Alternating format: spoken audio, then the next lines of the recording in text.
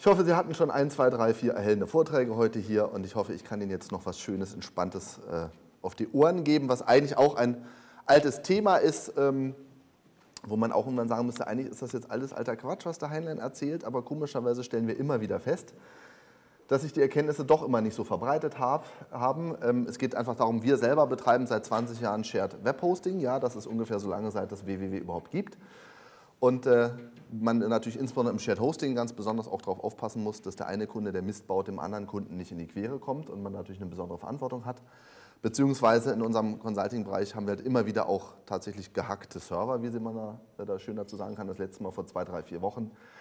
Und wir stellen eigentlich immer wieder fest, dass das ein und dieselben Ursachen eigentlich sind und dass man das eigentlich alles immer so hätte einfach auch vermeiden können. Das ist also im Prinzip wirklich größtenteils banales Handwerkszeug, was aber nun mal einfach nicht gemacht wird. Das ist ungefähr so simpel wie, man muss die Haustür absperren, wenn man das Haus verlässt. Aber wenn man es nicht macht, ja, dann ist halt Pech. Kurz zu uns, für die, die uns jetzt hier vielleicht noch nicht kennen. Hannah Support, wir sind ein Team von 25 Leuten aus Berlin, machen im Prinzip seit Anfang der 90er Linux und Server, alles was in der DMZ irgendwie stattfindet. Wir haben so verschiedene Geschäftsbereiche. Das eine ist eben die Hosting-Sparte, wo wir die Kunden selber betreiben. Ähm, das andere ist der Consulting-Bereich, wo wir größtenteils das Wissen und die Erfahrung, die wir selber im Hosting gesammelt haben, dann irgendwann auch mal an unsere Kunden weitergeben. Äh, mein Spezialgebiet sind normalerweise Mail-Server, daher kennen mich vielleicht die einen oder anderen aus dem Mailbetrieb. Und ähm, das ist jetzt was, wo es eigentlich ja, aus der Not heraus auch mal entstanden ist, um den Administratoren unter uns größtenteils auch einfach mal erklären zu können, mit welchen Handgriffen sie da wirklich einfach mal auch die Tür abschließen können. Wenn man sich so einen Webserver anguckt, egal ob das jetzt ähm, ein Shared Hosting ist, wo tausend verschiedene Kunden drauf sind, ich bin der Hoster und der Betreiber, oder ob das mein eigener Root-Server ist oder mein eigener Server ist, den ich jetzt irgendwie hier im Landtag oder so, habe ich heute Morgen gelernt, oder sonst wo betreiben möchte, ähm, da muss man natürlich erstmal fragen, ja okay, haben wir überhaupt Geheimnisse, wo ist eigentlich das Problem? Ja, weil, pff, Gott, im Prinzip ist es ja ein Webserver, alles was da drauf liegt, ist öffentlich. Äh, und ähm, was soll denn jetzt daran schon großartig geheimnisvoll sein, um einfach mal auf die Idee zu kommen, will ich den überhaupt absichern und so? Bloß wenn man etwas tiefer nachdenkt, naja, das fängt natürlich bei den klassischen Passwortdateien an. Ja. Sie kennen ja vielleicht alles HTPassWD oder HTXS-Dateien, wo ich ja eben auch Verzeichnisse mal mit einem Zugriffsschutz versehen kann. Ja. Das gibt ja immer wieder auch diese süßen Anekdoten, dass irgendwie von börsennotierten Unternehmen der Geschäftsberichtleiter vor Abschluss äh, des Börsen Endes veröffentlicht worden ist, was dann für größeres Chaos gesorgt hat. Da gab es ja vor zwei Wochen auch so mal den einen oder anderen kleinen Ausrutscher und so. Und das sind durchaus Fälle, dass Leute einfach zum Beispiel Dateien gefunden haben, PDF-Dateien gefunden haben auf der Festplatte, die halt schon hochgeladen, aber halt noch nicht verlinkt waren, weil die Leute dachten, naja, Geschäftsbericht.pdf, das laden wir um zweimal hoch und um 18 Uhr setzen wir erst den Link. Und dann gibt es natürlich durchaus findige Leute, die mal ein paar Ols ausprobieren, auf einmal feststellen, so Mensch, aus dem Download-Ordner, da gibt es ja interessante Dokumente. Ohne dass die da reingucken können. Ne? Aber wo man natürlich dann auch sagt, okay, dazu haben wir ja einen Passwortschutz drauf oder, oder, oder. Aber die Frage ist natürlich, was passiert, wenn ein Angreifer oder ein böser Junge das zum Beispiel tatsächlich mal zu sehen kriegt. Ja?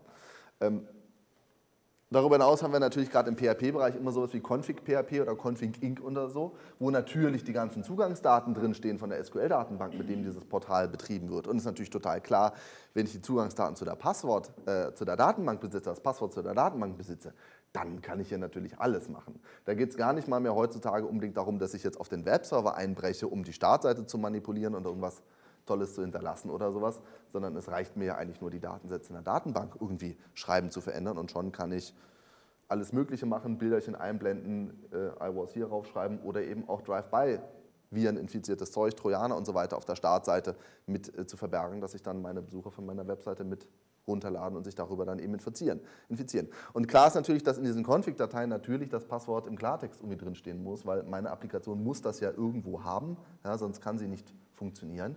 Irgendwie muss da ja die Information drin stecken, wie ich an die SQL-Datenbank rankomme. Und wenn ich das zum Beispiel natürlich sehe als Angreifer, na, dann ist natürlich erstmal ein Großteil meiner Arbeit schon erledigt.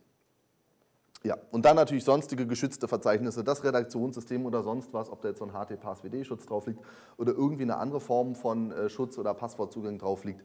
Es ist natürlich klar, auf Dateiebene komme ich daran immer vorbei. Das heißt, wenn es mir irgendwie gelingt, den Webserver auf Dateiebene vor mir zu sehen, liegt das alles vor mir offen und ähm, dann kann man natürlich für nichts mehr garantieren.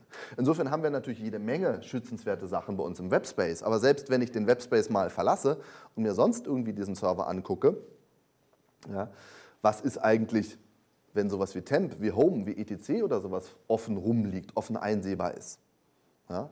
Da sind natürlich auch jede Menge relevante Sachen drin, zum Beispiel Session-IDs von PHP. Ja, wenn er seine Temp-Dateien anliegt und die, die, liegen da drin und dann habe ich Session-IDs, vielleicht sogar mit Werten, vielleicht sogar mit Werten, wo sogar Passwörter mitgespeichert werden, wenn meine Applikation das aus irgendeinem Grund so macht, dann kann ich äh, A, vielleicht fremde Zugangsdaten klauen oder vielleicht auch fremde Sessions klauen, je nachdem, wie gut das gegen Hijacking abgesichert worden ist. Aber natürlich sind diese Informationen eine Menge wert. Auch irgendwie das ETC-Verzeichnis, da gibt es eine Passwortdatei, da sind die Root-Accounts drin, ja, selbst wenn ich personalisierte Root-Accounts habe. Ähm, ich habe deswegen noch lange nicht das Passwort dazu, aber wenn ich erstmal weiß, wie die Jungs heißen, wenn sie sich einloggen, dann kann ich das natürlich wesentlich leichter erraten oder auch wesentlich leichter vielleicht als nächsten Schritt für ein Social Engineering irgendwie nehmen, dass ich halt ein gewisses Vorwissen leichter präsentieren kann und dadurch eben glaubwürdiger bin, wenn ich da einfach mal doof frage oder so. Oder es hilft mir einfach an verschiedenen Stellen, wenn ich allein solche Informationen besitze.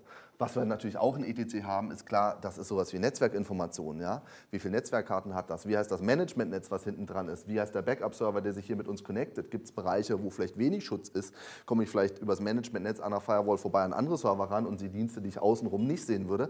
Also auch Routing-Informationen, IP-Adressinformationen, Hostnamen, DNS-Resolver und so. Wir haben natürlich auf dem System eine ganze Menge an Informationen, was eigentlich nicht gefährlich ist, ne, aber natürlich einem Angreifer sehr in die Hände spielt und natürlich auch ähm, ihm das wesentlich leichter macht oder einfach eine gewisse Vorbedingung ist, um dann tatsächlich mal erfolgreich angreifen zu können. Ja. Natürlich ist die IP-Adresse per se nichts Schützenswertes, die kann ich mir ausdenken, ja, man weiß ja, wie die heißen, aber wenn ich weiß, wie die Struktur aufgebaut ist, kann ich sie natürlich viel leichter attackieren. Ja, und das Problem ist, dass alle diese Dateien, alle diese Informationen, die ich auf dem Server habe, in Wirklichkeit jedem meiner Kunden offen liegen, gerade wenn ich im Shared Hosting bin. Die haben ja Zugriff auf diesen Server, vielleicht nur einen FTP-Account, mit dem sie irgendwie Zeug hochladen können in ihren Webspace, aber was insbesondere heißt, dass der Kunde beliebigen Programmcode auf meinen Server laden kann und dort ausführen kann. Und das heißt eben auch, dass er sich frei über die Festplatte bewegen kann mit allem, was sein Prozess unter seiner ID zu sehen kriegt. Und sowas wie eine PASWD-Datei ist nun mal weltweit lesbar für alle. Aus guten Gründen muss so sein, aber klar ist, da kommt da rein, das kann er lesen. Und je nachdem, wie ich das absichere, wir gucken uns das gleich noch an, kann er unter Umständen auch Kommandos ausführen. Das heißt, da ein eigener PHP-Code, den die Leute ja legalerweise, für die, dafür werde ich bezahlt, ja, legalerweise auf meinen Rechner hochladen für ihr CMS, kann natürlich benutzt werden. Ähm, äh, das auszulesen. Die können ins Temp-Verzeichnis gehen und sagen, gib mir mal alle Dateien, die da irgendwie drin sind. Ich komme da ja ran. Ich kann die aber zum Beispiel ja auch benutzen, um mich mit dem SQL-Server zu connecten. Und das müssen ja nicht meine eigenen Daten sein. Ich könnte an der Stelle auch zum Beispiel die erbeuteten Zugangsdaten eines anderen Kunden benutzen, um damit äh, auf die Datenbanken eines, eines äh, anderen Kunden auf diesem Server ranzukommen und sie zu manipulieren, wo der Admin sonst immer gesagt hat, naja, der Datenbankserver ist von außen durch die Firewall natürlich nicht erreichbar. Ja, das ist ja schön und gut, aber der Angreifer sitzt in dieser Sekunde ja hinter, die Fire, hinter der Firewall, wenn er sich einfach auf diesen Server begeben kann. Ich muss nur Kunde werden und schon liegt die ganze Infrastruktur vor mir und ich kann darauf zugreifen. Dann muss ich noch die Daten haben, richtig. Aber wenn ich mich ja frei über die Festplatte bewegen kann und der Apache-Prozess ja alle Daten lesen kann, inklusive der Config-PHP, und ich jetzt durch meinen PHP-Code unter der ID des Apache-Prozesses eben alle Daten auf der Festplatte lesen kann, inklusive Connect zum SQL-Server, na gut, dann ist die Sache doch geritzt. Also was soll man dazu noch anderes sagen? Sprich, das darf einfach nicht sein. Das ist aber ehrlich gesagt fast überall der Fall. Ja, Sie können das leicht ausprobieren. Besorgen Sie einen FTP-Space oder Sie haben den irgendwo auf einem Shared Hosting-Anbieter oder sonst was. Und dann machen Sie doch einfach mal kurz in PHP selber programmiert oder es gibt auch so fertige File-Manager in PHP. Gehen Sie mal ein Verzeichnis hoch, cd. Punkt, aus im Root-Verzeichnis. Wie sieht das denn aus, wenn Sie eine eben hochgegangen sind? Und wenn Sie dann irgendwie 5000 andere Domain-Ordner vor sich sehen und da vielleicht mit CD auch wieder reinwechseln können und mal ein Directory-Listing machen können und mal ein Cat auf die Config-PHP machen können, ja, dann kann man dieses System eigentlich nur noch innerhalb von 10 Sekunden abschalten. Ja, ganz einfach. Das ist aber der Standard. Und das ist komisch, weil das ist seit 10, 15, 20 Jahren eigentlich total bekannt. Aber selbst viele Hoster, die damit ihr Geld verdienen, haben da noch nicht drüber nachgedacht oder hatten keinen Bock und so. Viele sichern es mittlerweile ab. Da hat sich viele in den letzten 5, 8, 10 Jahren getan. Das muss man wirklich auch zugeben. Vor 10 Jahren waren, das ging auch damals durch die Heise-Meldung und so weiter, ne, dass also wirklich große Shared, Colo, äh, Shared Hosting-Anbieter da wirklich einfach alle Schotten offen hatten. Ja. Das andere ist aber natürlich auch die Idee, okay, ja, ist der Remote-User, der jetzt nicht einen lokalen Account auf diesem System hat, ist er tatsächlich immer remote? Habe ich immer eine Firewall, die mich schützt? Ist es wirklich so, dass der wenigstens keinen Code auf meinem System ausführen kann? Wäre ein gewisses Argument. Wenn ich sage, nee, ich habe ja gar kein Shared Hosting System, das ist ja nur mein Root-Server, es gibt nur mich hier mit Accounts, ich habe da das Problem nicht, ich kann das Dateisystem offen lassen, weil es gibt nur mich, sonst niemanden, ja, keiner, der mir da gefährlich werden könnte. Haben wir immer noch das Problem, dass wir Dienste anbieten für irgendwelche Leute da draußen und ob die halt irgendwo da draußen oder da drin sind, darüber kann man durchaus mal scharf nachdenken. Ja. In aller Regel ist es so, dass die Remote-User draußen in Wirklichkeit mit ein paar Tricks sich genauso auf diesem System verhalten und bewegen können, wie ein lokaler Nutzer, der eigenen Code hochgeladen hat. Die haben es bloß etwas schwieriger, aber sobald sie es schaffen, eigenen PHP-Code auf das System einzuspielen, können sie darüber ja wieder machen, was sie wollen. Und die Frage ist, ist das wirklich so, dass die keinen eigenen Code einspielen können? Wie kann das aussehen? Das sind halt die klassischen Wege, PHP-Injection, also das Einspielen, das Einfügen von eigenem PHP-Code da gibt es verschiedene Möglichkeiten, wie das sein kann. Das sind zum Beispiel natürlich ähm, schlecht gesicherte Anfrage, ähm, schlecht gesicherte Webformulare, ähm, wo man dann zum Beispiel einfach mal so PHP-Code mit reinschreibt und einfach mal gucken kann, wird der denn ausgeführt. Einfach mal so ein schließendes PHP-Zeichen machen und dann mal gucken, was passiert denn. Ja, liest die, diese Variable als Text ein oder wird es in irgendeinem Kontext vielleicht sogar mal ausgeführt und daraus also wie ein Include behandelt in PHP zum Beispiel, sodass ich darüber eigene Kommandos einfügen kann. Das gleiche natürlich bei SQL-Kommandos, das ist immer wieder der Klassiker, das gibt es immer wieder. So jedes blöde Gästebuchformular hat das mehr oder weniger als Problem drin. Was ist denn, wenn ich als mein Realname einfach mal ein Hochkomma mit reinschreibe, was normalerweise halt dann später das Ende des SQL-Datensatzes vielleicht markieren würde. Und wenn die diesen Input, den ich habe, einfach so mit Echo an die SQL-Datenbank äh, weiterleiten, dann kann ich es halt schaffen, darüber SQL-Kommandos einzuschleusen. Ich mache in meinem Namen einfach ein schließendes SQL-Zeichen bauen Sie Mikrolon rein und schreibt dahinter Drop Table, also löscht die Datenbank. SQL kriegt erstmal mein Insert mit meinem Namen und dummerweise Huckepack obendrauf noch ein Lösch mal die Datenbank. SQL sagt, jo, habe ich gemacht. Das heißt, die Programmierer haben dann natürlich total geschlafen in solchen Fällen, weil die halt keine Eingabevalidierung gemacht haben. Ne? Natürlich müssen die Programmierer einfach sagen, woraus kann Realname bestehen und Gänsefüßchen, Hochkomma, Backslashes und Semikolon sind nun mal verdammt böse Zeichen und die haben da auch einfach mal nichts drin zu suchen. Ja? Und wenn es jemandem gelingt, meine SQL-Kommandos zu schließen und dadurch den Weg für eigene aufzumachen im Windschatten, dann hat der Programmierer einfach total glaubwürdig, naiv oder wie auch immer, geht er dann mit diesen Daten um. Natürlich muss ich Daten, die draußen waren, Daten, die vom User kommen, validieren ohne Ende. Und da muss ich ganz genau auch festlegen, was ist erlaubt. Ich darf jetzt auch nicht sagen, das ist verboten, sonst best ist immer, ich sage, es ist alles verboten, es sei denn diese Zeichen weil sonst denken die sich Unzeichen aus, woran ich nicht gedacht habe und dann geht es doch wieder. Ja, da muss ich halt sagen, okay, in Realname steht aus A bis Z, 0 bis 9, Leerzeichen ja, und das war es eigentlich auch schon wieder. Dann kann man noch überlegen, vielleicht gibt es noch ein Apostroph oder sowas für irgendwelche Von- und Zunahmen oder so, aber Semikolon, Grenzefüßen, Hochkommazeichen, die haben da einfach nichts zu suchen. Ja. Oder auch bei Mailadressen oder oder. Also alles, was so an die Datenbank weitergereicht wird, muss man absichern. Oder gibt es auch in PHP fertige Funktionen dafür, ich muss das halt escapen und sichern. Ja, dass halt ein Backslash Hochkomma draus wird oder ein Backslash Semikolon, sodass das dann eben nicht mehr nativ interpretiert wird, sondern eben als Datenzeichen, als Inhalt interpretiert wird. Das andere, was viele halt haben, ist, ich kann natürlich gucken, ob es Variablen in den PHP-Skripten gibt, die ich vielleicht manipulieren kann von außen, die ich halt setzen kann, um irgendwas zu erreichen. Ne? Admin gleich true, gucken wir uns auch gleich nochmal an in dem folgenden. Oder dass ich halt sonst irgendwie Programmierfehler ausnutzen kann. Schauen wir uns mal an, wie das funktioniert. Ähm, PHP Code Injection. Ja? Im Prinzip ist es so, dass viele CMS, so, so Webseitensysteme und so weiter, an allen möglichen Stellen ganz schnell natürlich Includes machen. So die ganz einfachen Systeme sieht man ja häufig auch, dass oben in der OL schon drin steht, Include Dokumente-Preise. Ja, und dann lädt er halt Dokumente in die Datei Preise von der Festplatte. Manchmal ist es wenigstens sogar noch so, das ist schon mal ein guter Trick, dass das CMS grundsätzlich hinter dieser URL oben nochmal wenigstens .inc anhängt, ne, sodass wenn ich da mal eben eine andere Datei angebe, ja, dass ich dann zumindest ähm, eine Datei nur inkluden kann, die eben .inc in der Endung heißt, weil das hardcodiert ergänzt wird oder so. Aber häufig ist es so, dass da halt relativ unbedarft alles inkludiert oder gelesen wird, was halt oben in der URL oder durch einen anderen Parameter übergeben wird. Und dann muss man sich schon mal fragen, was passiert denn, wenn ich da oben mal ganz lustig irgendwelche anderen Namen angebe. Ja. So würde das Ganze dann zum Beispiel auch aussehen, wenn man das nochmal eine Ebene weiterdenkt. Dann das PHP hat noch ein Problem, das habe ich gerade vergessen zu sagen. Ich kann ja oben häufig dann auch nicht nur Include auf die Datei angeben, sondern ich kann als, obwohl von einer Datei die Rede ist, in den meisten Konfigurationen einfach eine URL angeben. Das ist ein Feature. Hm, it's not a bug, it's a feature. Ja, das kann man auch abstellen, darum sind wir eben gerade heute hier, das sollte man vielleicht abstellen. Das PHP sagt, ja, wenn das ein Dateipfad ist, mache ich eine Datei, dafür ist das auch gedacht. Aber wenn das zufällig eine URL ist, mit FTP, HTTP oder irgendeinem Protokoll, was ich kenne, dann besorge ich die Datei halt von dort und include die. Ja, das hat absichtlich jemand programmiert, das ist schick. Ja? Wenn ich jetzt aber zum Beispiel gar nicht aufpasse, ob da überhaupt Remote-Zugriffe an der Stelle vorgesehen sind und das gesichert wird, kann ein Angreifer statt der lokalen Datei preise.html oder preise.inc eine URL angeben, die kommt von einem fremden Webserver. Und was in dieser nachgeladenen Datei jetzt drin steht, das ist jetzt natürlich Sache des Angreifers. Und auf einmal wird die nachgeladen und wenn das richtig programmiert ist, eben auch ausgeführt. Ja, wenn sie nur als Text nachgeladen wird, dann würde ich den PHP-Code als Gästebucheintrag sehen. Okay, das ist dann langweilig, ja.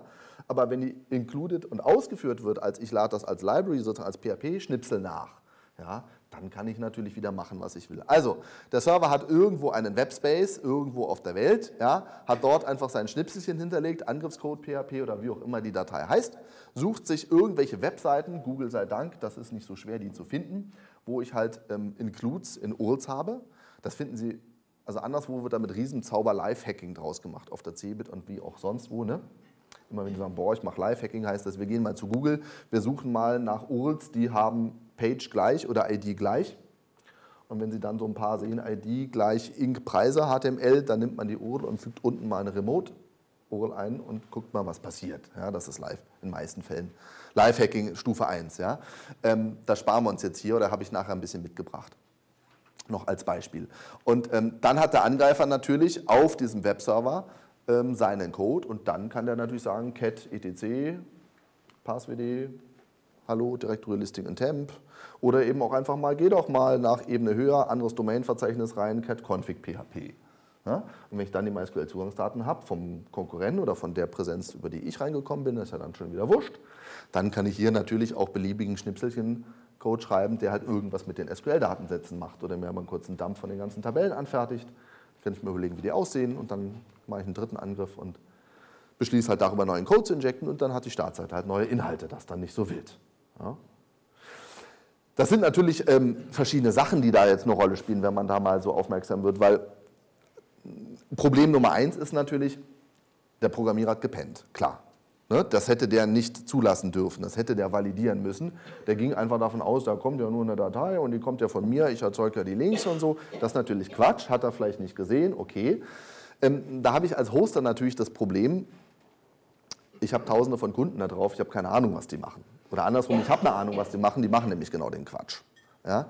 Nun kann ich für jeden fünf Tage Schulung anbieten, wer soll das bezahlen und ist natürlich nicht der Weg und die installieren mal irgendein Forumsprojekt, was sie im Netz gefunden haben, das haben die auch nicht mal selber programmiert. Also sprich, ich weiß, dass ich kiloweise Code auf meinem System habe, der genauso einen Quatsch natürlich zulässt. Ja, weil das ist nur durch sichere Programmierung zu, äh, zu ändern. Das kann ich als Administrator eines Webservers einschränken oder schützen, dass es nicht übergreift auf andere Projekte, aber ich kann nicht verhindern, dass der Code halt Quatsch ist. Ich kann ja nicht jemanden hinsetzen, der jeden Tag nur fremde Codezeilen liest und noch nach Bugs irgendwie durchsucht. Wird schwierig. Ja? Ähm, insofern muss man sich da natürlich dann fragen, okay, was kann ich denn durch eine serverseitige Konfiguration erreichen, um diese Auswirkungen möglichst gering zu halten. Wir sehen aber schon an dem Beispiel, ja, ich kann gucken, dass das nicht, äh, dass das, ähm, ähm, dass das nicht möglich ist. Wir gucken uns am Ende an, wie das funktioniert. Aber wenn er zum Beispiel sonst irgendwie über den, die Eingabezeile des Realnamens oder sowas PHP-Code akzeptiert, den er ausführt, bin ich sofort als Administrator am Ende und kann den Programmierer nicht mehr vor sich selber schützen, weil der Code sagt halt cat config php aus dieser Webpräsenz, macht einen Datenbank-Connect. Das kann ich nicht mehr verhindern von außen. Ja, das ist nur noch im PHP-Code selber irgendwie zu fixen. Ja, aber ich muss aus meiner Verantwortung heraus immer noch dafür sorgen, dass das keine anderen Kunden irgendwie betrifft und man zum Beispiel nicht aus dem einen Kundenverzeichnis in ein anderes ausbrechen darf. Und da gibt es eben verschiedene PHP-Einstellungen schon seit vielen Jahren. Ähm, die genau sowas verhindern und die gucken wir uns mal ein bisschen an. Die bekannteste davon ist dieser Safe Mode. Einfach schon wegen den Namen kennen das viele oder sind mal beim Lesen von der PHP-INI irgendwie darüber gestoßen. Und das Problem ist, der Safe Mode ist halt äh, Quatsch. Auf jeden Fall hat er nichts mit Safe oder sowas zu tun.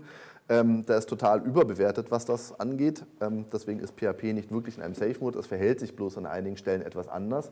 Hilft mir, PHP abzusichern, aber bloß weil ich Safe Mode gleich on setze, habe ich das Rennen noch lange nicht gewonnen. Also, was macht Safe Mode eigentlich? der prüft bei Includes, ob die inkludiert, also der macht mehrere Sachen und eine Sache ist, er prüft, ob die inkludierte Datei derselben User-ID gehört wie das Skript, das sie includet. Ja? Das hilft also, wenn es einen Account P auf dem System gibt und alle Dateien gehören mir, weil es wirklich noch personalisierte Accounts gibt, dann kann ich nicht eine Datei von Klaus inkluden, also die config inc aus dem Nachbarverzeichnis, weil sie nicht meiner User, Linux User ID gehört.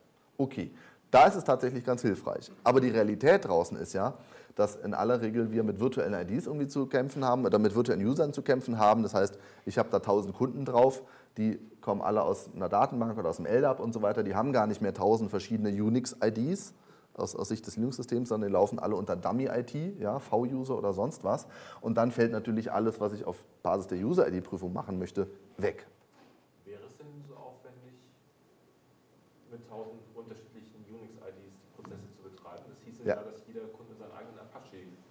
Prozess hat, jeweils mit einem eigenen Unix. Ja, die Frage nochmal für die Kamera, die Frage ist, ob es wirklich so aufwendig wäre, verschiedene IDs dafür irgendwie einzuführen. Ähm, da muss ich gar nicht mal verschiedene Apache-Prozesse dafür machen, ja, ähm, weil mein Apache-Prozess kann ja unter www.run diese Datei laden und ausführen. Was SafeMode nur macht, er guckt, woher der Include kommt, aus einer Datei, die Pair gehört, die Apache aber lesen konnte. Ja? Und dann sagt er, nee, die Datei, die Klaus gehört, die Apache auch lesen darf, die include ich nicht. Insofern muss ich nicht wirklich User-IDs für jeden User aufsetzen. Insofern, man kann das schon machen, dass man trotzdem, auch wenn es Datenbank-User sind, getrennte IDs macht. Es machen halt viele nicht, es macht dann halt auch viel Stress einfach an verschiedenen Stellen, ähm, weil man halt gucken muss, dann müssen die halt auch wieder weltweit lesbar sein oder es muss Gruppenrecht mit dem Apache geben, damit er eben darauf zugreifen kann, was auch schon viele Einfallstore ermöglicht. Ja. Ähm, und äh, dann gibt es wieder Stress mit, äh, was ist mit den Verzeichnissen, wo tatsächlich reingeschrieben werden muss und, und, und. Also das ist halt häufig aus praktischen Gründen nicht unbedingt erwünscht oder der Fall. Ja, aber natürlich könnte man das machen. Bloß, wie wir gerade schon gesehen haben, der Prozess Apache, der darf eh alles lesen. Klar, sonst kann er die Website nicht nehmen und ausführen. Ja, also insofern, selbst das wäre ja nicht wirklich die ultimative Lösung. Nur kann ich sagen, okay, ich habe für jeden User einen einzelnen Apache-Prozess oder es gibt auch die Möglichkeit, PHP als CGI-Modul auszuführen, mittlerweile auch halbwegs performant oder gut performant. Und dann kann ich wirklich sagen, dieser PHP-Interpreter wird von vornherein unter der ID von Peer oder Klaus gestartet. Und der hat jetzt auch kein Problem, natürlich Dateien zu lesen, die nur Peer oder nur Klaus gehören. Und der Apache-Prozess selber ist außen vor. Das geht, das wäre jetzt ein sehr schöner, moderner Weg, aber das, hat dann, das muss man schon sehr aktiv konfigurieren, dass ich ähm, PHP äh, immer als CGI lade, dadurch IDs annehmen kann, ähm, sehe ich unter Performance-Gesichtspunkten halt immer als schwierig an. Ja, wenn ich wirklich Hochlastsysteme habe, die viel Ab Dampf ablassen müssen, dann will ich das einfach nicht. Ja, das hat dann wieder Nachteile, muss man sich überlegen. Aber ja, ne? also das soll halt Includes von fremden Dateien äh, verhindern, die anderen Leuten irgendwie gehören, aber ob, und, äh, ob das funktioniert und wenn es funktioniert, wie weit mich das tatsächlich nach vorne bringt, ist halt durchaus fraglich. Ne? Das haben wir halt nicht. Ja? Und dann haben wir natürlich das Problem, haben wir gerade schon kurz erwähnt, wenn ich Schreibverzeichnisse habe, und das habe ich da eben ganz genauso, dann lädt sie halt der www oder www-Data-Prozess hoch. Ja? Das heißt, die gehören eben dann auf www-Data, also so Avatare, Bilder, Dateimanagement, also so alles, was halt hochgeladen worden ist, ne? was nicht aus dem FTP kommt.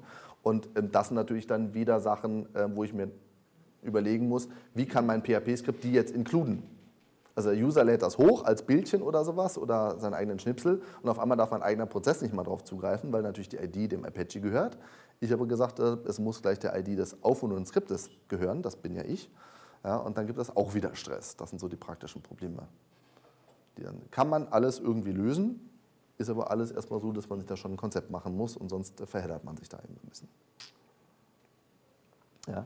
Der Gag ist aber, wenn der Safe Mode aktiv ist, kann ich ein paar nette andere Sachen machen. Insofern wollen wir den prinzipiell schon anwerfen. Ähm, ja, schauen wir mal, was geht. Das Problem ist aber auch, ähm, ich meine, gut, das ist jetzt ein bisschen, das war vor ein paar Jahren aktueller. Der Safe Mode hat auch mal so ein paar Implementierungsfehler gehabt, äh, die das so ein bisschen verhindert haben. Das ist, glaube ich, mittlerweile draußen. Ähm, ja, okay. Gut, was ein, ein, ein wirklich sehr, sehr wirkungsvolles System ist und ähm, da, da, missioniere ich seit vielen Jahren, dass die Leute das bitte einsetzen sollen und das kennen komischerweise nicht so viele, heißt Open Based hier. Weil im Prinzip ist es ja einfach. Ich muss ja einfach nur verhindern, dass ein Skript, was dem User Klaus gehört, in fremde Verzeichnisse reingucken kann und inkluden oder sich dateimäßig dort bewegen kann, wo es nichts zu suchen hat. Und genau das macht OpenBased hier. Und das ist eigentlich das Geile dran. Mehr brauche ich erstmal gar nicht. Ja? Ich kann da angeben, in welche Verzeichnisse darf dieses PHP-Skript rein oder ein PHP-Skript, das unter dieser Domäne läuft. Ja? Ähm, da muss man natürlich dann gucken, was ich da angeben muss. Ja, hier ist so ein Beispiel, wie das aussieht. Ich kann also in dem Virtual Host Container in der Apache Config das Ganze definieren. Also für jeden Kunden setze ich einzeln sein individuelles OpenBase Dir ähm, seine Open Base Restrictions. Da muss er natürlich klar erstmal zum Beispiel drin haben, dass er auf sein eigenes Domain-Verzeichnis zugreifen darf, sonst kann er mit sich selber nicht mehr arbeiten, das ist mir logisch. Ich muss dann noch ein bisschen lernen oder wissen, dass man halt zum Beispiel sowas wie User-Share PHP noch braucht, weil da liegen so Peer-Libs oder öffentliche PHP-Bibliotheken, die das benutzen wollen für Grafiksachen oder weiß der Geier was. Ähm, dann, was jetzt hier fehlt, habe ich meistens noch irgendwie das Temp-Verzeichnis, weil sonst hat man so ganz lustige Sachen, wenn ein User eine Datei hochlädt, hat der das ins Temp-Verzeichnis geschrieben und wenn mein Skript anschließend die Datei dann speichern will, kriegt dann Access denied, weil ins Temp darf er nicht mal reingucken. Also ähm, das sind im Prinzip die drei Sachen, das lib, das temp und das Dokumentenverzeichnis des Nutzers. Und wenn ich jetzt als PHP-Skript sage, ja, ich möchte ganz gerne mal etc passwd lesen, sagt PHP, nö. Und das ist eigentlich schon mal die halbe Miete. Ja? Und wenn er jetzt sagt, ja, ich würde ganz gerne ins htdoc-Verzeichnis einer anderen Domain irgendwie reinwechseln, sagt PHP, nö. Und das heißt, wenn ich einen Programmierfehler habe und das gesetzt ist pro Container, dann kann, ich als, kann der Angreifer wenigstens nur noch auf die Config PHP und auf die Daten zugreifen, von dem der den Quatsch programmiert hat.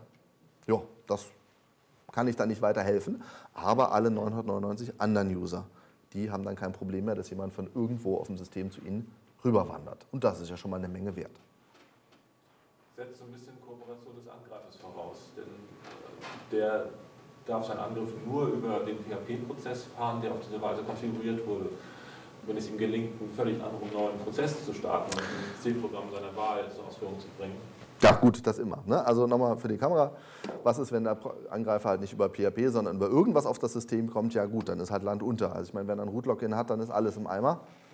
Das ist jetzt weder ein Argument dafür noch dagegen, sondern das ist natürlich dann so, klar. Ja? Also deswegen kann ich sagen, ich habe OpenBase dir und jetzt ist das Root-Passwort von meinem Root-Account eben Root. Ähm, das ist dann auch nicht so sinnvoll auf Dauer, klar. Sicherheit, ja. Oder Default. Ähm, wobei Default vermutlich schon wieder relativ sicher ist. Das ist das Default-Passwort. Mhm. Ähm, gut, ja, also das setzt man halt einfach in jedem Virtual Host Container und äh, gerade wenn ich viele Domains habe, habe ich ja sowieso irgendeinen Mechanismus, was mir die Apache-Config zum Beispiel rausschreibt, automatisiert. Ich habe ja auch diese Pfadangabe sowieso irgendwo generiert in Logfiles drin oder im Document Root. Ja. Also im Prinzip kann ich das tatsächlich ja sehr einfach machen, dass in dem Moment, wo ich, das, wo ich diese Apache-Configs pro Domain ähm, erzeuge, aus meinem LDAP, aus meiner Datenbank rausschreibe, dass ich dann halt einfach noch diese Zeile auch noch mit reinschreibe und ich halt diese PHP-Variablen dadurch definiere. Ja.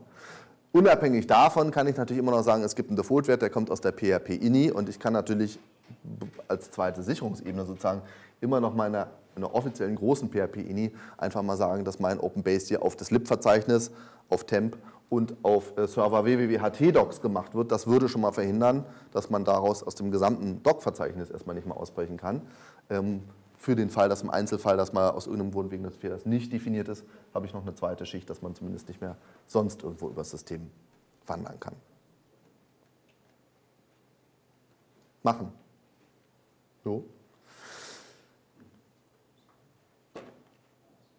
Das hatten wir vorhin schon mal. Ich komme jetzt nochmal zurück auf den auf die Beispiele von vorhin, wie man angreifen könnte oder wie man das angehen könnte, das ist dieses Allow URL F Open. Das heißt, wenn ich ein File Open haben, F Open, ja, darf da eine URL drin stehen. Ja, so erklärt sich dieser Parametername, ganz einfach. Ja. Und wenn ich eben Allow URL, Allow URL F Open auf No setze, dann sagt PHP eben nö, ein HTTP, ein FTP auf diesem Include mache ich halt nicht. Also allein damit ist das eigentlich an der Stelle schon wieder geritzt. Per Default ist es halt bloß in aller Regel erlaubt. Ja, und wenn da einfach niemand rangeht, weil auch einfach keiner dran denkt oder so und am Anfang und später sagt man dann, ach, wir haben jetzt 1000 Domains, trauen wir uns das jetzt einfach mal heute Abend abzuschalten. Ne? Was ist dann mit 1000 Kundenpräsenzen, die das brauchen, weil sie darüber einen RSS-Feed von draußen nachladen und und und. Also sprich, in einem gewachsenen System ist das halt einfach nicht so möglich, mal kurz abends zu beschließen mit Mensch, den setze ich jetzt anders, weil dann rufen halt unter Umständen 50 Kunden an, denen ich jetzt gerade ihre Installation kaputt gemacht habe. Also so ein Migrationsaufwand die anzuschreiben, die zu warnen, das anzukündigen, vielleicht mal für eine Stunde testweise es anzuwerfen, dann wieder abzuschalten, falls einer sagt, stimmt, bei mir ging die ganze Webseite deswegen nicht mehr. Ja, das kann man schon alles machen, ne? aber ähm, besser ist es natürlich, wenn man sozusagen von vornherein das immer aus hatte und dann alle Leute, die ihre Präsenz dann mal installiert haben, das nie anders kennengelernt haben und man das natürlich nicht mehr ändern muss. Klar. Aber das ist im Prinzip genau der das hat. Aber die andere Frage ist natürlich, unabhängig von diesem OLF Open, in dem Beispiel vorhin, warum um Himmels Willen darf mein Webserver draußen im Internet surfen? Ist dem langweilig? Will da was dazulernen? Muss der googeln? Ja? Also ich habe irgendeinen brasilianischen Hacker-Server oder so einen Wehr-Server, auf dem dieses Angriffscode-Schnipselchen liegt und meine Apache geht los und macht einen Download davon und führt das auch noch aus dann muss man noch einige sagen, irgendwie so Alarmstufe Rot, was soll das denn? Warum lädt mein Webserver von irgendwo Krams nach? Das macht mein Desktop. Ich surfe, aber noch nicht mein Server. Muss man sagen, heute stimmt das nicht mehr ganz, weil es gibt eben viele RSS-Feeds zum Beispiel ne? und dann muss der mit dem WordPress noch reden und dann kriegt er von dort noch einen Feed und dann zeigt mir hier mein CMS noch die Info an, dass es eine Aktualisierung gibt und äh, dann muss der noch was machen. Aber das sind eben alle Sachen, wo ich eigentlich weiß, wohin er telefoniert. Das heißt nicht, dass er irgendwie zu allen anderen IP-Adressen auf der Welt auch surfen darf. Das ist dann natürlich eine gewisse Arbeit, wenn man wirklich mal sagt, Punkt 1, mein Webserver und vielleicht auch alle meine anderen Systeme, die dürfen eben nicht ausgehen, surfen und machen, was sie wollen. Also auch mein Samba-Server hat nichts mit HTTP da draußen im Netz zu suchen und mein Mail-Server eigentlich auch nicht. Ist ja komisch, ne? Oder warum chatten die eigentlich im IRC? Hä? Also man muss erstmal sagen, die meisten Firewalls sind von drinnen nach draußen offen wie ein Scheunentor. Begründung ist immer, der Angreifer sitzt außen. Ja, was für ein Quatsch ist das denn? Wenn der Angreifer sich von meinem System anrufen lässt, ja, sozusagen, dann brauche ich natürlich eine ausgehend gesperrte Firewall. Andersrum, ausgehend habe ich viel mehr Ports gesperrt als eingehend, ja, weil ausgehender Traffic eigentlich per Definition gar nicht stattzufinden hat, bis auf das, wo ich auf einen Request antworte und das ist ja was anderes. Also dann muss ich halt sagen, A, pauschales Nachladen ähm, oder pauschales Connecten gleich zu Servern ist verboten und B, wenn ich es dann eben brauche, weil ich eben den RSS-Feed von der Tagesschau habe, vom Heise-Ticker oder von sonst irgendwas, dann weiß ich, welche Systeme das sind und dann schalte ich die im Einzelfall eben frei. Da kann ich aus Erfahrung sagen, das nervt, das ist auch Arbeit, weil dann kommt wieder ein User an und sagt, ich habe das neue super-duper äh, CMS-System und das kann ich nach Hause telefonieren. Da müssen wir gucken, okay, welche IP-Adresse verbirgt sich denn dahinter, dann tragen wir die ein. Dann beschwert er sich vielleicht auch nach drei Wochen wieder, weil von der, die von der IP-Adresse 12 auf die 20 gerutscht sind. Also sprich, wir machen da schon auch relativ großzügige Whitelistings, dann halt meinetwegen dieser Netzbereich Strich 24, der zu diesem Softwareprojekt gehört, wird freigeschaltet. Weil das ist ja auch nicht schlimm, da kommt auch kein Code dann zu mir her, aber ich brauche ja nicht alle Server auf der Welt. Und auch wir haben mittlerweile vor ein paar Wochen resigniert aufgegeben und haben jetzt zum Beispiel bei Facebook halt alles offen. Davor haben wir noch irgendwelche Facebook-Dienste einzeln freigeschaltet. Und das ist natürlich so eine Sisyphus-Arbeit, ähm, dass wir da mittlerweile relativ großzügig Netzbereiche, ganze große Netze von diesen Anbietern halt freischalten. Aber entscheidend ist doch, dass der Ware-Server, der andere gehackte Server, der der sonst wo Server, der auf der Welt steht, von dem Kiddy, äh, nicht erreichbar ist. Und insofern, ähm, selbst wenn man das Whitelisting hier oder das Freischalten sehr großzügig handhabt, ähm, meine Sicherheit natürlich trotzdem noch da ist. So, jetzt gab es zwei Fragen, gerade ganz kurz. Frage, wenn ich jetzt ein Forum hoste zum Beispiel und ich habe einen Topic über witzige GIF-Animationen aus dem Web, dann hm? müssten Nutzer das ja quasi immer hochladen bei mir, weil das F-Open verboten ist, oder? Also wenn ich die jetzt direkt einbinde, gehotlink von der anderen Seite. Naja, Moment, HTTP-Links auf eine andere Seite sind ja nicht verboten. Also, Nee, das kommt darauf an. Wenn du, also die Frage war, was ist, wenn ich irgendwie ein Forum habe, was eben externe Inhalte einblenden möchte. Und da muss man gucken, kommt darauf an, wie du sie einblendest. Wenn du in deinen Quellcode dir einfach nur reinschreibst, so, da kommt jetzt das Bild XY rein und das Bild XY liegt auf dem Server mit der OL, dann geht ja mein Browser los und lädt sich das von da drüben. Wenn du natürlich sagst, ich ziehe das Bild, speichere das lokal auf die Platte und liefere das unter einer eigenen URL als lokales, gecachtes Bild wieder aus, das ist was anderes.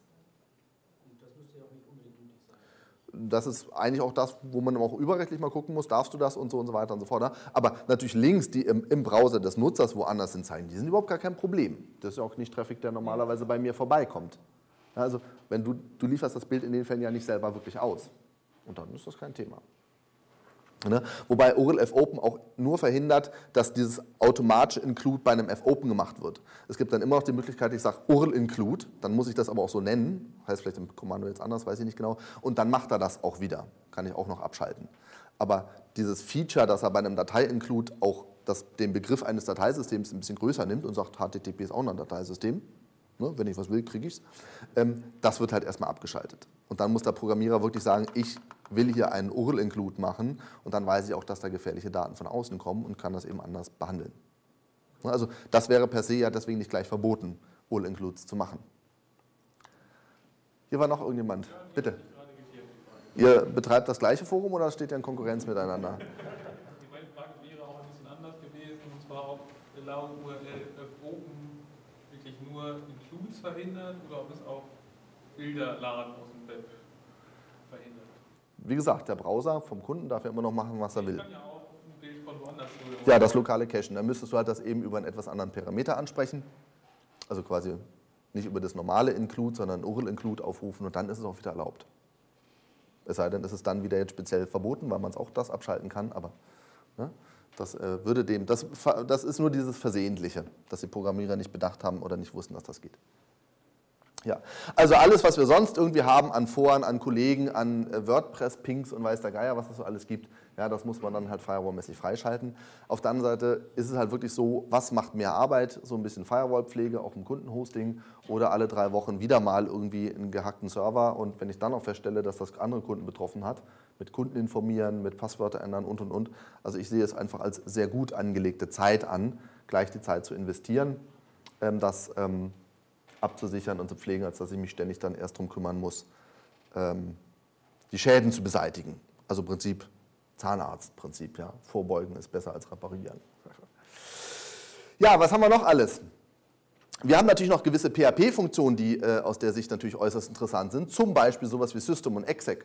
Damit kann ich nämlich Unix- oder Linux-Kommandos ausführen und dann steht mir natürlich wirklich alles offen, so zu agieren, wie das ein normaler Nutzer mit Shell-Zugriff auch kann. Ja, ich kann cat etc passwd machen, ich kann ifconfig und root ausführen und und und. Und ähm, dazu gibt es eben unter anderem systemexec und noch ein paar kleine Brüder davon. Und wir sehen das ständig im Logfile. Wer mal danach guckt in seinem Logfile, wenn, die Webseite ein bisschen mehr frequentiert ist, dann wird man das im Prinzip jeden Tag oder alle Nase lang finden, dass jemand das versucht hat. Das ist ein reelles Beispiel einfach aus dem Log, kann man greppen. Wir sehen, wir haben eine Index-PHP und da hatten wir eine ID gleich Preise oder ID gleich allgemeine Geschäftsbedingungen. Und irgendjemand hat jetzt einfach mal versucht, ob es funktionieren würde, hier eine fremde URL anzugeben. Also man, man, man kann super einfach schon äh, sowas finden. Greppen Sie nach gleich HTTP. Sie haben normalerweise nie einen URL-Parameter irgendwo drin, der gleich HTTP oder gleich FTP beginnt. Das findet man total trivial, weil man weiß, wonach man suchen muss. Und dann ist es übrigens schon mal ganz schön, diese URL einfach mal im Browser zu werfen, mal zu gucken, was passiert. Ja? Versuchen tun die das alle naslang, es funktioniert halt nicht. Das sollte man zumindest wissen, dass es nicht funktioniert. Ne? Also bloß aus der Existenz solcher Log-Einträge ist es ja nicht, dass ich tatsächlich gehackt bin. Die haben ja nur mal angeklopft. Aber was ganz interessant ist, dass das Skript, was der Typ sich jetzt hier nachlädt, von irgendeinem was auch immer Server, ja, warum durfte ich dort per Firewall überhaupt raus telefonieren? Das hatten wir schon. Dass das natürlich ein PHP-Skript hier ist ja, und der Name des Programms CMD, das ist nämlich eine kleine Shell. Dieses Skript macht nichts anderes, als das, was als CMD-Parameter übergeben wird, in dieses Skript halt über System und Exec auszuführen. Das ist Remote Shell. Ganz trivial, das ist ein Fünfzeiler, das Skript. Nimm den Parameter, mach ein System draus, Systemaufruf draus. Ja? Und da können wir mal angucken, was hat er denn übergeben. Also der hat einen Uname aufrufen, Uname-A, der schaut also, was ist das für ein Kernel, welche Version ist das, mit welchem System habe ich das hier zu tun. Ja, dann macht dann cat of proc version, da weil er halt irgendwie wissen will, ne?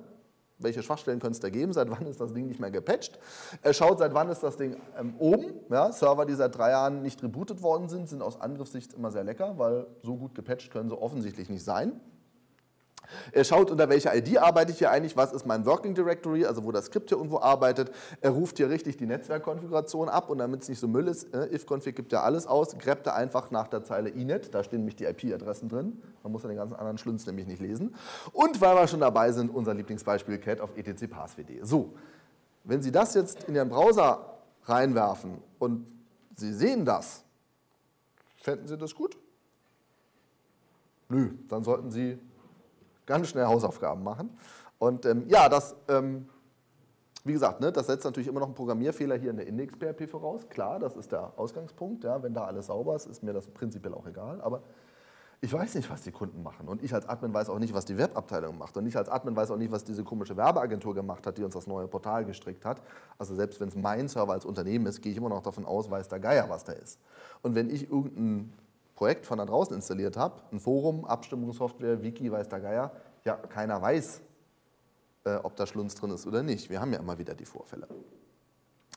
Ja, und jetzt ist natürlich auch klar, wenn ich das schon habe und das funktioniert, dann kann ich da auch noch ganz flexibel oben alle anderen Kommandos eingeben. Dann ist das wie eine Shell, ja, interaktiv. Ich mache immer meinen Parameter, mein Kommando in die URL rein und sehe in der Webseite anschließend die Ausgabe. Ja, und da gibt es ein paar äh, PHP-Parameter, Disable Functions, das ist so die Liste, die wir da immer setzen. Äh, mit einem aus Versehen dazwischenrutschenden Zeilenumbruch. Ja. Ähm, auch sowas wie PHP-Info, das sehen die Nutzer natürlich immer sehr gerne, weil die das immer im README lesen, dass sie das Board XY installieren und mal kurz PHP-Info aufrufen wollen. Aber auch das wollen wir halt einfach nicht, ähm, weil da steckt zum Beispiel drin, was sind die Open Basic Restrictions, welche Pfade sind denn mir zufolge nach auch interessant und und und. Wir verbieten das halt. Und was wir zum Beispiel gemacht haben, ist, dass wir allen unseren Kunden einfach eine statische PHP-Info-Seite anbieten. Also ich muss ja nur mal PHP-Info in der Datei umlenken dann kann ich jedem User der Neues sagen, da unter der Datei siehst du die Ausgabe. Deswegen muss ich ja nicht die PHP-Funktion als solches erlauben. Und natürlich eben auch die ganzen anderen Brüder, Shell Exec und so weiter, Proc Open und so weiter, mit dem ich also vielleicht da irgendwie ähm, Sachen auf der Festplatte machen könnte, die ich von außen gar nicht haben möchte. Nächster Punkt. Achso, genau. Manchmal kann es natürlich sein, ähm, dass ich das brauche. Ja, mit Typo 3 haben wir da zum Beispiel sehr gekämpft. Ich glaube, mittlerweile braucht auch Typo 3 das nicht mehr. Ich bin mir da nicht ganz sicher. Ich habe es schon lange nicht mehr angeguckt. Ähm, die haben das zum Beispiel benutzt, um darüber Grafikprogramme aufzurufen, um Menübilder zu generieren. Dann wird es natürlich ein bisschen schwierig, ne? weil dann läuft halt sonst nichts mehr. Also es kann auch sein, dass eine Software sagt, ich brauche ein Exec. Klar, zu irgendeinem Grund hat man es auch in PHP eingebaut, damit man es benutzen kann. Äh, aber auch das kann man ähm, äh, dann umgehen. Ich weiß nicht, ob das jetzt hier noch draufsteht. Ah, genau. Ja, wenn ich so einen Safe Mode nämlich habe, dann kann ich setzen einen Safe Mode exec dir und dann können nur Kommandos ausgeführt werden, die in diesem Verzeichnis liegen. Und dann richte ich einfach ein User Local PHP Bin ein, wo ich die Programme, die das Ding nun mal benötigt, einfach reinkopiere, die 589 GDLib und was weiß ich nicht, Grafikprogrammchen. Aber da liegt dann eben kein ähm, if-config und so weiter mit drin. Ja, dann kann man eben nur Grafiksoftware Kommandos starten. Gut, Wer jetzt ganz clever ist und das alles kapieren würde, der könnte auch sagen, ich mache eine GD-Lib, also rufe die Grafiksoftware auf und nehme ein weißes Bild und include die PassWD da rein und lasse das Bild ausliefern. Das würde funktionieren, aber äh, so wie die Script-Kiddies mit ihren Scannern da durchgehen, ja, das ist ja alles kein gezielter Angriff, sondern die gucken, ob das geht, dann heißt es, es geht nicht. Keiner wird jetzt schnallen, dass er über die Grafik, also das wäre dann schon richtig ein gezielter Angriff, der auf mich abgestimmt ist. Das ist einfach eine andere Liga, ja. Aber das äh, haben wir zum Beispiel sehr schön gehabt auf unserem Typo-3-Server früher, ähm, dass wir halt dadurch ganz selektiv erlauben konnten, welche Programme kann man denn starten, wenn ich sie schon unbedingt starten muss.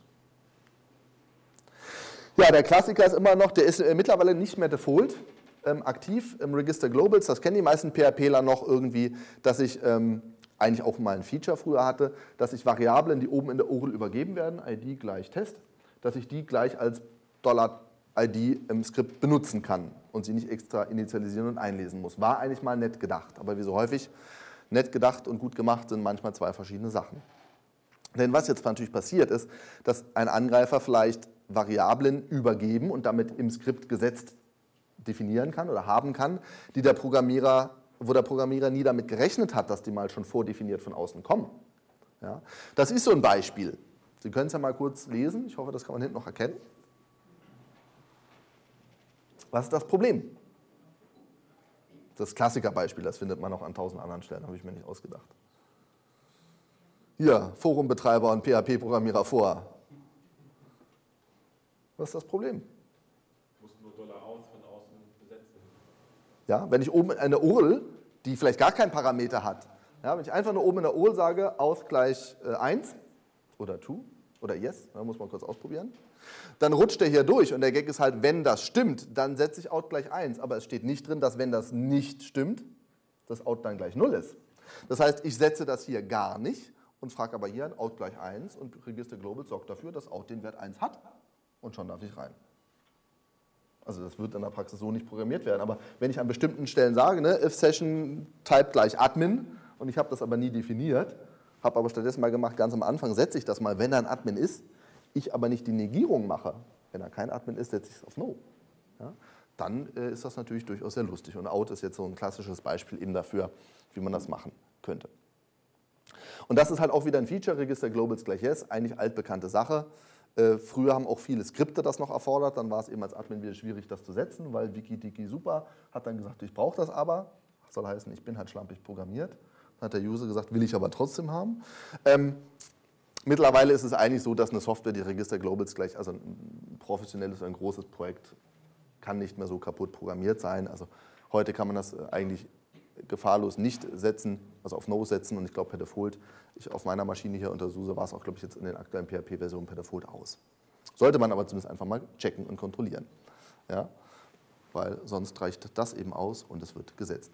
Was die Programmierer dann stattdessen machen müssen, ist, dass die halt die Variablen, die sie wirklich von oben auslesen wollen, ähm, wirklich explizit einlesen und initialisieren. Das ist eben der große Vorteil, dass ich als Programmierer genau weiß, was kommt von außen und das habe ich am Anfang dann mal gesetzt. Und dann weiß ich auch, dass alle anderen Variablen-Namen, die irgendwo mal vorkommen, eben nicht mehr beeinflussbar sind. Ja? So sieht das Ganze dann aus. Ähm, eine Möglichkeit ist halt zum Beispiel, dass ich einfach sage out gleich 0 und danach mache ich erst diese out-Entscheidung, wo es vielleicht wieder auf 1 wandert. Aber egal mit welchem Wert das von außen kommt, es wird auf jeden Fall erstmal auf einen definierten sicheren Wert gesetzt. Oder eben, wenn das Register Globals eben an ist, dass ich dann sage, okay, alles, was ich brauche, muss ich eben über diese Get oder sonst was Aktion explizit einlesen, damit eben auch nicht UID gleich Admin oder sowas in der URL übergeben werden kann. Ja, schlecht programmierte Skripte laufen nicht. Ja, das ist das kleine Problem dabei, wenn man es migriert. Und der Vorteil bei der ganzen Sache ist, schlecht programmierte Skripte laufen nicht. Die Medaille hat immer zwei Seiten. Und mich interessiert der Vorteil von dieser ganzen Geschichte. Also im Prinzip sind das lauter kleine und auch banale Kleinigkeiten. Ähm, wir nennen es das Zwiebelschalenprinzip, weil ich muss ja immer davon ausgehen, dass auch eine Sache versagt oder dass ich eine Sache einfach mal nicht benutzen kann, weil Typo 3 braucht das nun mal und so.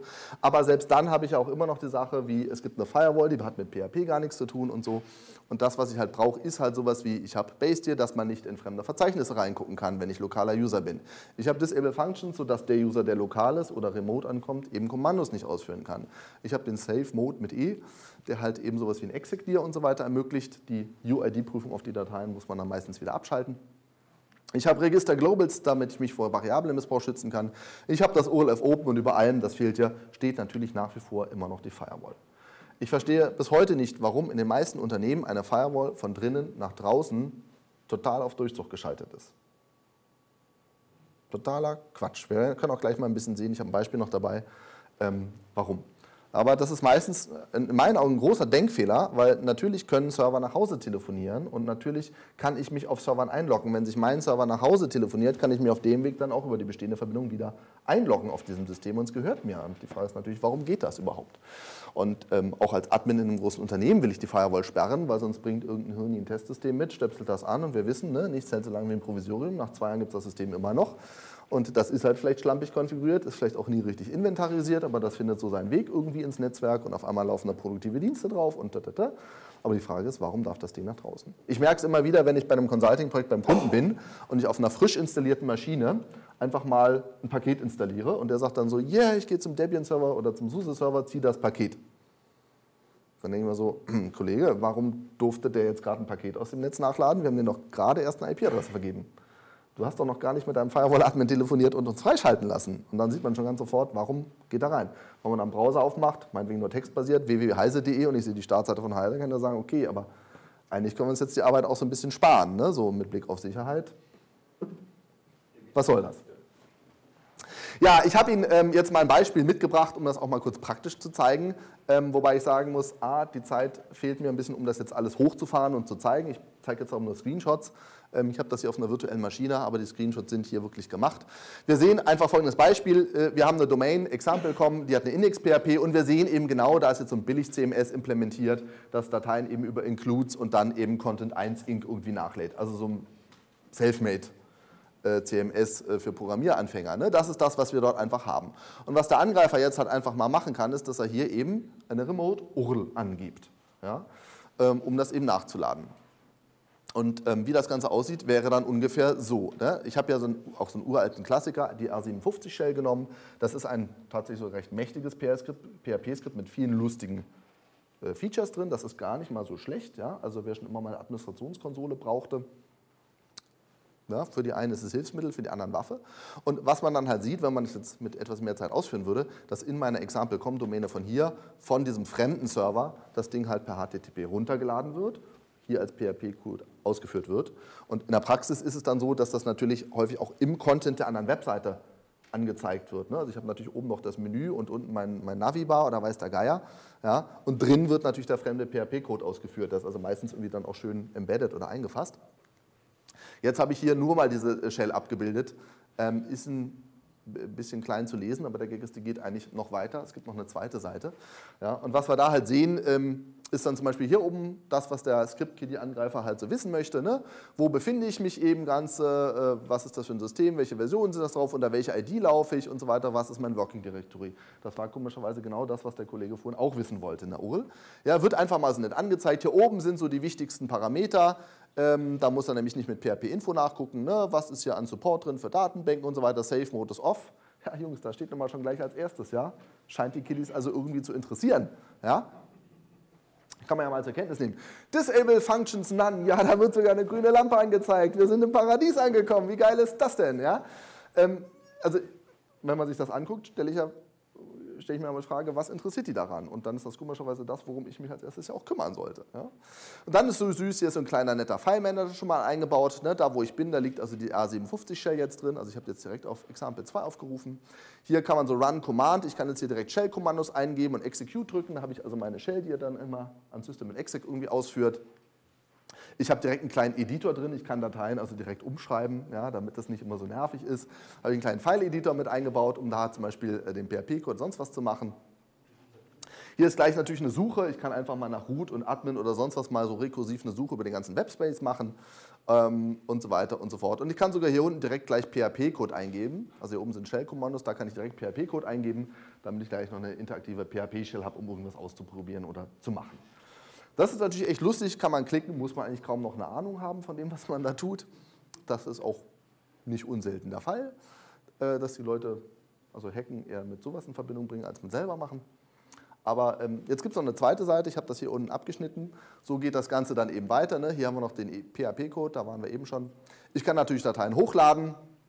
Und dann ist hier, ich habe glaube ich aus Versehen eine russische Version irgendwo mal erwischt, das aber nicht wundern, da fehlen jetzt ein paar kyrillische Zeichen oder was das ist. Ähm, ich kann natürlich auch hier noch fremde Dateien mit wget runterladen, also falls ich noch Snippets von mir mal da platzieren möchte, meine Backdoor, meinen Trojaner, meinen Code, ne, muss ich jetzt nicht die Dateien immer öffnen und mit Inhalt befüllen, ich kann die gleich installieren und nachladen. Und hier unten ist auch noch ganz süß, hier ist ein kleiner Mailer drin, ich kann Mail schreiben, ja, hacker at gmail.com an billy at microsoft.com, das sind die Default-Werte, sind nicht von mir, ja. also muss man dazu sagen. Ähm, hi Billy, ja, also kann ich schon mal eine Mail verschicken, ist ja wichtig, weil wenn ich Spam verschicken will über das System, dann interessiert mich das natürlich. Und äh, ja, hier drüben kann ich eben auch gleich Dateien verschicken. Also äh, ich kann ähm, gleich die Shadow-Datei einfach per E-Mail an mich rausschicken lassen, weil dann habe ich die und kann mir die in Ruhe mal angucken, was da so drin steckt und kann ja gleich als meinem Attachment die Mail generieren lassen. So, das ist schon mal ganz nett. Und was aber ganz lustig ist, ist das, was hier unten eigentlich noch steht. Ähm, bind Port to Bash das heißt, ich kann jetzt, es ist ein bisschen schwer zu sehen, an Port 11457 oder irgendeinen anderen Port eine Shell starten. Ja, natürlich in dem Fall erstmal nur mit, äh, mit den Rechten des Webservers, aber vielleicht dann auch, wenn ich ein SU mache, kann ich ja auch Root-Rechte annehmen, wenn ich das Passwort besitze. Ja? Und die tarnt sich übrigens ganz lustig in der Prozessliste als Perl-Prozess. Das wissen viele auch nicht. Wenn ich einen Prozess habe, der läuft, kann der Prozess selber sagen, unter welchem Namen er bitte in der Prozessliste auftaucht. Also statt bin bash steht da, da läuft ein Perl-Skript und das hat einen Port offen. Und das sieht dann so aus. Also wenn man hier dann einfach äh, klickt, ähm, äh, bind, also hier auf den Startknopf drückt, dann startet er die Shell, bindet die an den Port. Und jetzt ist sie natürlich von außen ähm, erreichbar, nur wenn die Firewall das zulässt. Okay, klären wir gleich noch. Ne? Aber was ich dann an der Prozesse finde, ist es sowas. Hier haben wir den Port 11457 und da ist ein Kommando angeblich Perl. Ist total gelogen. Ja? Und das hat den halt als Listen offen. Und wenn ich jetzt ein Telnet auf die Konsole mache, liegt halt eine Shell vor mir. Sagen die Leute, ja, kein Problem, haben wir eine Firewall. Aber was es halt auch gibt, ist hier dann ein Back-Connect. Ja? Er bindet halt auch wieder die Shell äh, an Port L457 und lässt sich auf seine IP-Adresse von seinem Hacker-Server halt zurückrufen. Und dann sagt er, alles klar, und auf dem Weg kommt er dann wieder rein. Und wenn die Firewall das zulässt, haben wir vorhin schon gesagt, na, dann ist halt die Shell offen. Dann ist natürlich auch klar, ne, Blick auf die Wortmeldung von vorhin, dass natürlich alle PHP-Restriktionen und so weiter Blödsinn sind. Aber die Frage ist, wie konnte er überhaupt nur eine Shell starten? Ja, weil System und Exec und Konsorten erlaubt waren.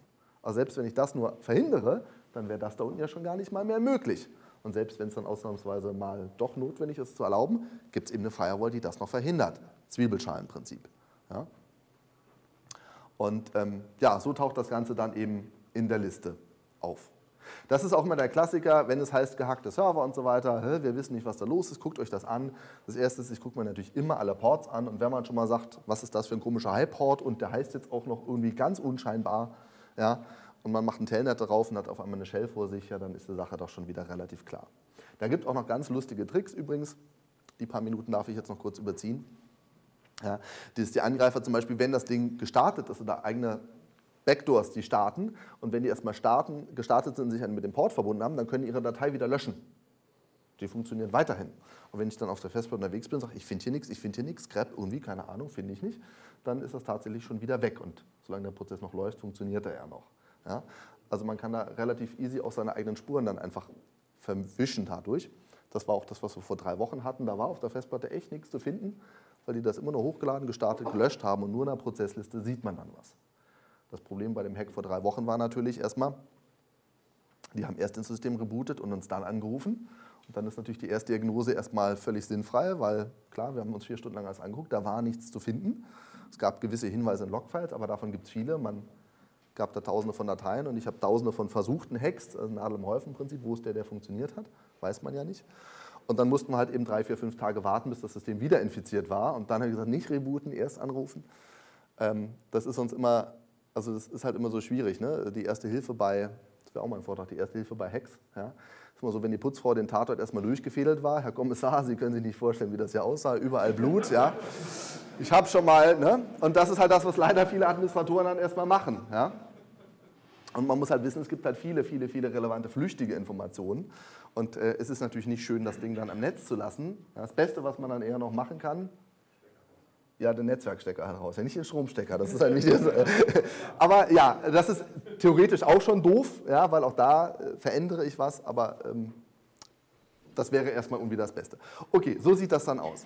Da ich jetzt nicht mehr Zeit habe, ähm, das, das, das, das Demo-Skript äh, mit den, Parameter, mit den PHP-Parametern zu verändern und dann, wenn man die Seite neu lädt, sieht man, dass eben Base Restriction Effekt ist und das eben nicht funktioniert mit der Shell.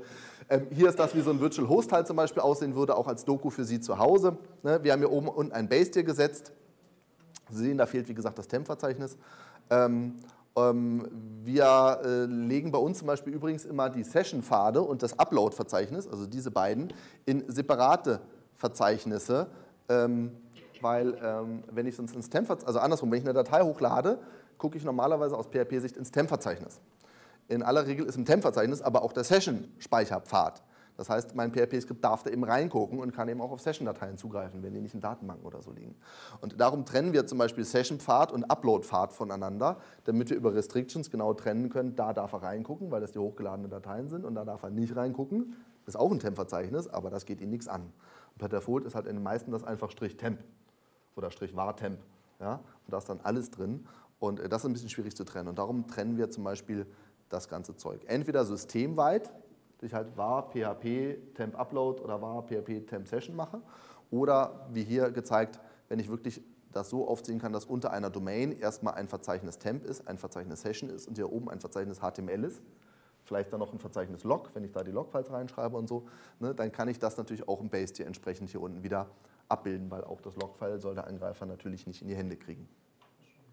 Und was hier oben natürlich noch ist, das ist eben, dass ich auch Domain individuell pro Container, also hier oben müsste ein Domainname eigentlich stehen, sagen, Safe Mode ist an oder aus, ORLF Open ist an oder aus und Register Global ist an oder aus. Also das, was ich vorhin gezeigt habe, das kann ich systemweit in der PHP-INI setzen, ja, aber wenn ich es im Einzelfall doch nochmal brauche, weil ich sage, die Präsenz braucht das jetzt, dann kann ich es tatsächlich Domain individuell einschalten ne, weil ich die meisten PHP-Parameter immer über das PHP-Admin-Flag dann im Container setzen kann und dann reicht Apache das durch.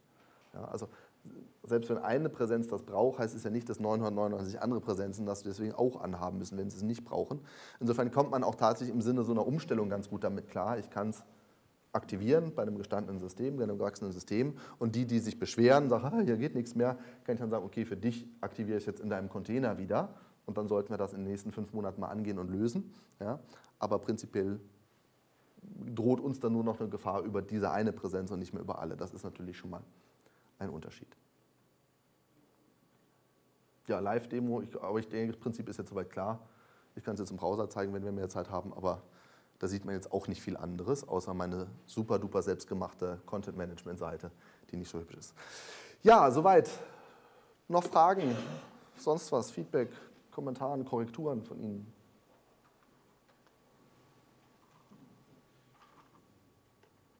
Traut sich keiner. Jo, ansonsten gleich noch vor der Tür. Ja, dann räume ich das Feld für den nächsten Redner. Und ähm, ja, wenn irgendwas ist, ja, gehackt oder nicht gehackt oder sonst irgendwie, oder vielleicht, was uns immer am liebsten ist, mal so präventiv, also bevor man gehackt worden ist, natürlich stehen wir mit unserem ganzen Team äh, zur Verfügung. Gerne auch 24-7. Diese Rufnummer ist rund um die Uhr das gesamte Jahr bei uns besetzt, mit Leuten, die auch davon was verstehen. Ähm, also auch nachts um drei und an Heiligabend, wenn es sein muss. Und insofern, wenn da mal irgendwas ist, freuen wir uns über einen Anruf und gerne auch bevor man die Spuren verwischt hat oder vielleicht bevor man so ein Projekt hochgezogen hat und anschließend sich überlegt, vielleicht hätten wir uns mal ein vernünftiges Konzept dafür machen sollen, wie das zu betreiben ist. Wer das nochmal nachlesen will, das und viele, viele andere Vorträge von uns stehen immer im Netz. Gibt es im Menüpunkt Vorträge, da sind die alle drauf, oft eben auch mit Video- oder Audioaufzeichnung, wer sich das lieber mal im Zug angucken will oder so. Ähm, da gibt es viele ähnliche Vorträge noch dazu. Natürlich suchen wir liebe, wie alle IT-Firmen Mitarbeiter. Berlin ist auch eine sehr schöne Stadt. Ähm, und ansonsten bleibt mir eigentlich nur noch äh, der Wunsch für Sie nach einem schönen Nachmittag. Bis zum nächsten Mal.